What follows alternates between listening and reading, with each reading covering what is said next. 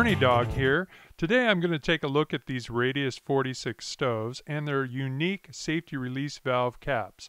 Now I happen to have three different flavors of these, but only the one on the right hand side actually goes to the Radius 46. The catalogs will tell us that there were at least four different varieties of these caps, and the two other ones I have are from other liquid fueled appliances made by Radius. I'm lucky enough that I have two Radius 46 stoves, both of which have the safety release valve cap.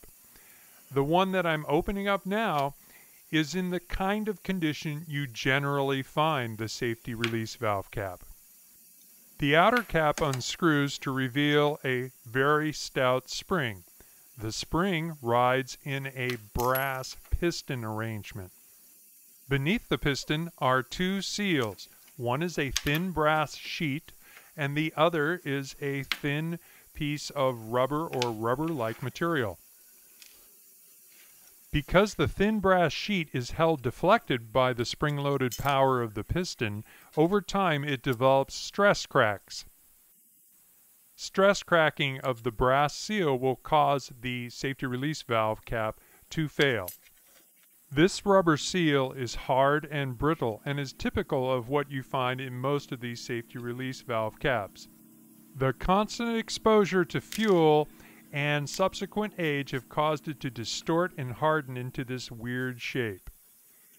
In my other safety release cap, the components are fresh and almost as good as new. These are not replacement components, these are original components you can see that the rubber washer is flat or nearly so and that it still remains flexible. There is no carving of the washer, it is just a flat washer. It's not three-dimensional in any way. The brass sheet is intact and without any cracking in good shape. There are two seal points inside the interior of the cap. This inner raised ring acts to seal pressure from leaving the cap. The outer ring is what the outer cap clamps both the rubber and the brass seals against to create the seal around the outside of the cap. There's a very nice machine surface on the underside of that outer cap that's going to press down on both the rubber and the brass portions of the inner parts of the cap against the ring.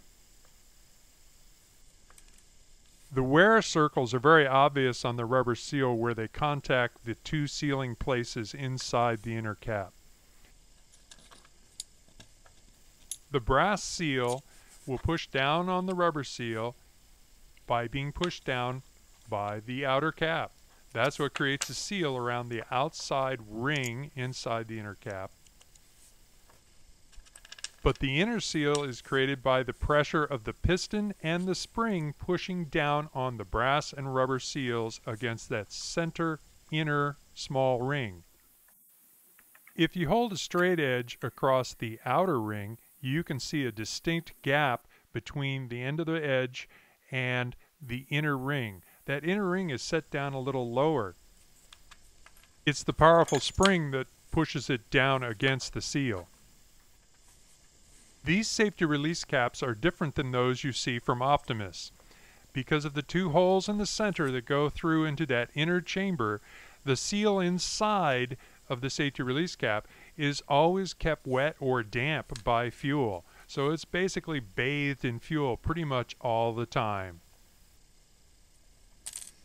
With normal sloshing about, you can even end up with little puddles of fuel inside this inner chamber that's constantly in contact with this big rubber seal. This animation demonstrates how the center of the cap is where the seal is maintained. As pressure increases, the fuel vapor escapes through the center of the cap. When the interior pressure in the tank gets high enough, it will push open the piston and the two seals, both brass and rubber, to release the pressure from the tank. I believe that the ease with which these caps can be assembled and disassembled by hand without special tools indicates that they were meant to be inspected and refurbished on a regular basis. The brass disc is kept under stress by the piston, and this is going to likely cause fractures over time. And as we know, that rubber gasket is kept in contact with fuel almost all the time, so it's going to deform and expand as rubber gaskets of that era did. Gaskets that look like this are deformed and are not something to try to emulate. The gaskets, the rubber gaskets, should be flat. I'll show you how to make both the rubber gaskets and the brass gaskets in your own shop in the next video. Stay tuned.